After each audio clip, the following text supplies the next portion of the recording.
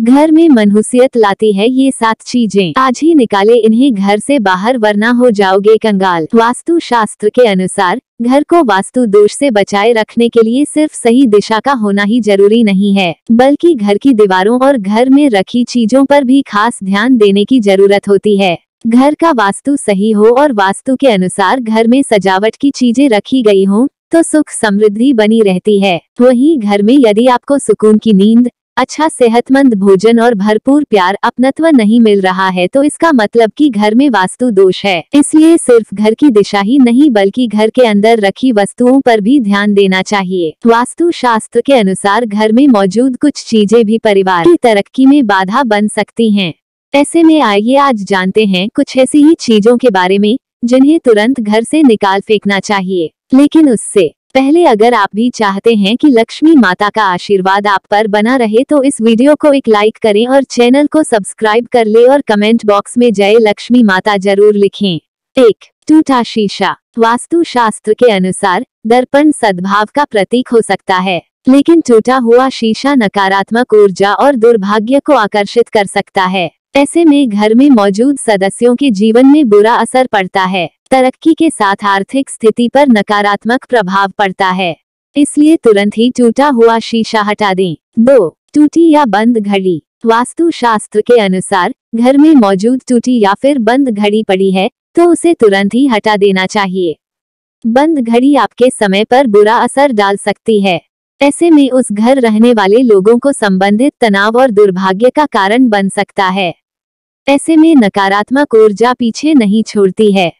इसलिए अगर घर बंद घड़ी पड़ी है तो उसे उसे तुरंत ही हटा देना चाहिए। बंद घड़ी आपके समय पर बुरा असर डाल सकती है। ऐसे में उस घर रहने वाले लोगों को संबंधित तनाव और दुर्भाग्य का कारण बन सकता है।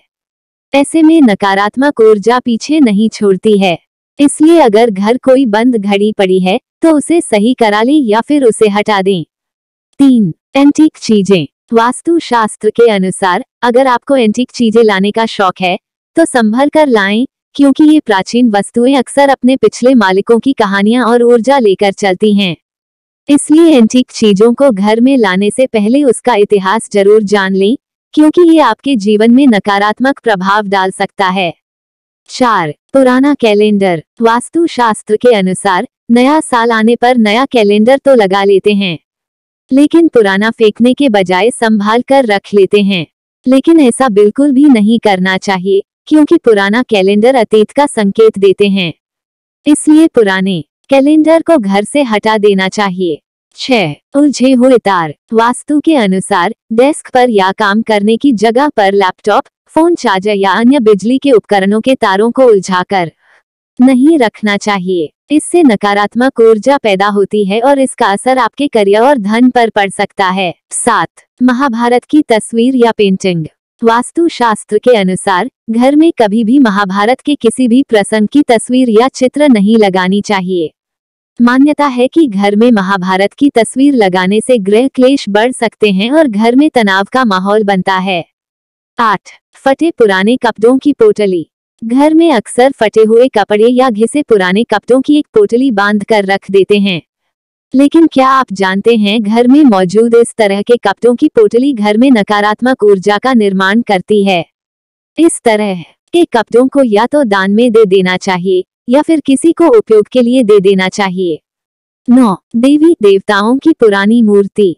देवी देवताओं की फटी या पुरानी तस्वीरें या फिर खंडित मूर्ति रखना भी वास्तु शास्त्र के हिसाब से वास्तु दोष माना गया है। इससे आर्थिक हानि तो होती ही है। साथ ही ऐसा भी माना जाता है कि देवी देवताओं की पुरानी मूर्तियाँ शाप देती हैं। मंदिर में एक ही देवी देवता की तीन से तीन मूर्तियाँ रखना वास्तु दोष होता है। इसलिए हमेशा घर में भगवान की साफ़ सुथरी और नई मूर्ति ही रखनी चाहिए। दस घर की छत रखें साफ़। घर की छत पर गंदगी होना या उस पर फालतू का सामान रखने से भी वास्तु दोष लगता है।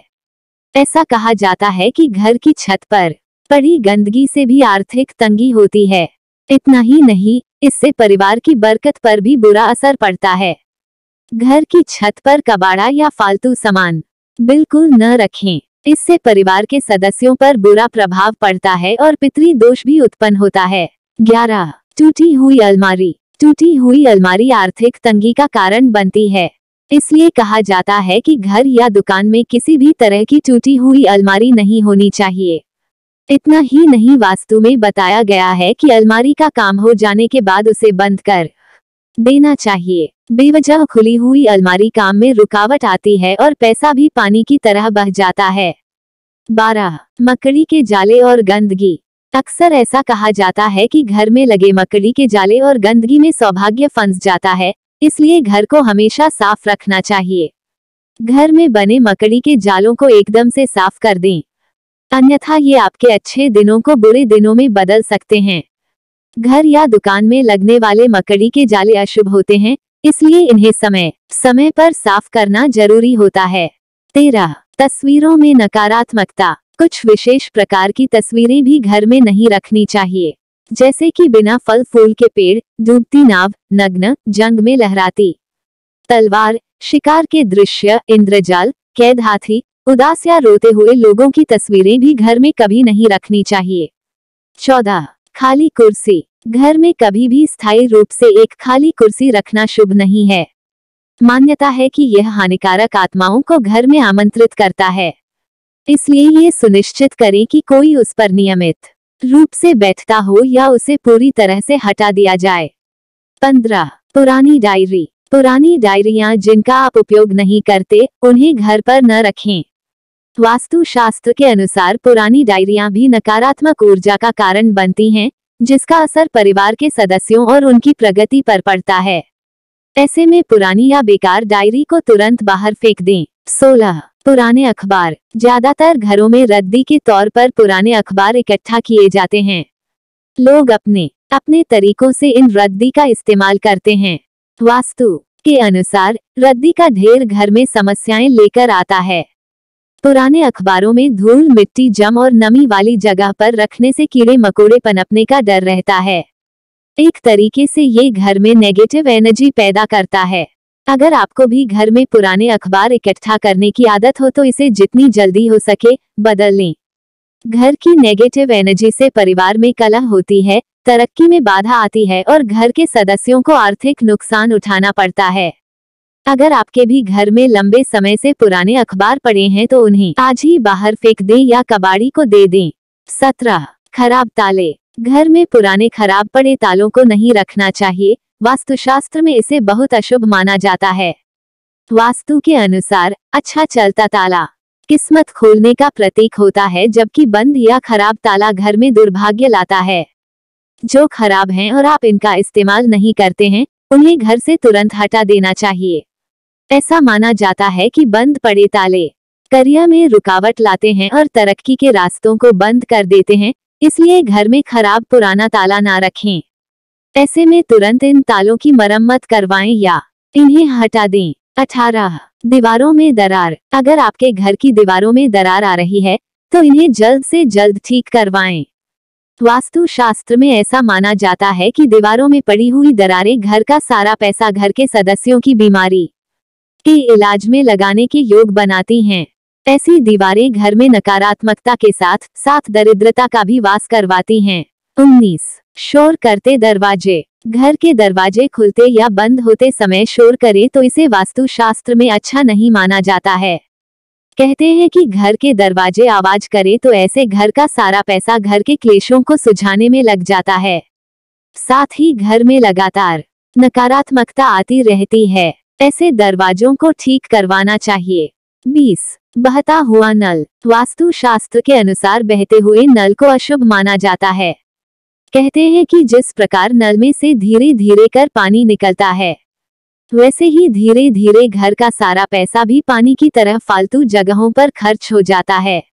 घर में अगर ऐसे नल हों तो उन्हें तुरंत बदल देना चाहिए। इक्कीस, खराब जूते चप्पल वास्तुशास्त्र में जूते चप्पल का संबंध संघर्ष से माना गया है। जीवन में संघर्ष को कम करना चाहते हो तो जूते चप्पल ठीक रखें।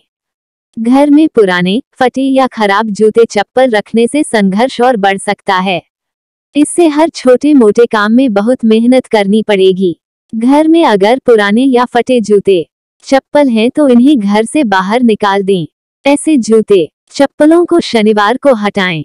इससे शनि की अशुभ दशा कम होती है। भले ही आपके पास जूते चप्पलों की संख्या कम हो, लेकिन वो सही हालत में होने चाहिए। बाईस, टूटा हुआ फर्नीचर। घर में टूटा हुआ फर्नीचर या गमले नहीं रखने चाहिए क्योंकि इससे घर में नकारात्मक ऊर्जा आती है। जो फर्नीचर या गमले उपयोग में ना हो, उन्हें बाहर फेंक देने चाहिए। तेईस, जानवरों की मूर्ति और पेंटिंग। वास्तु शास्त्र के मुताबिक कपलस के कमरों में सुअर, पक्षी, बाघ कौवे और कबूतर जैसे जंगली जानवरों की मूर्ति और पेंटिंग नहीं रखनी चाहिए क्योंकि ये हिंसा का प्रतीक मानी जाती हैं। ये तमाम जानकारी जनरुचि को ध्यान में रखकर दी जा रही है। ज्योतिष और धर्म के उपाय और सलाहों को अपनी आस्था और विश्वास पर आजमाएँ। वीडियो का उद्देश्य मात्र आपको बेहतर सलाह देना है। इस संदर्भ में हम किसी प्रकार का कोई दावा नहीं करते हैं। दोस्तों, आज की हमारी वीडियो आपको कैसी लगी? हमें कमेंट करके बताएँ। अगर आपको हमारी वीडियो अच्छी लगी तो कमेंट बॉक्स में जय माँ लक्ष्मी ज़रूर लिखें।